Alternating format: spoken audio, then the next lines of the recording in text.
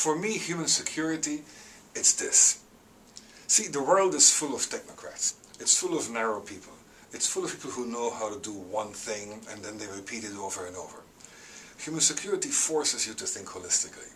It obliges you to connect the bigger pieces, ask the bigger questions, see how your own practice, whether it's as a logistician in humanitarian work, an agronomist in development, a negotiator, whatever it is, how this relates to the other pieces of social change, of people's lives, of the conditions of people who are excluded. Uh, and, and that's what human security does to me. It basically forces you to think broader, put human beings at the center of the story, become less technical, and work with other people who are very much unlike you. And that's why we created an Institute for Human Security at Fletcher.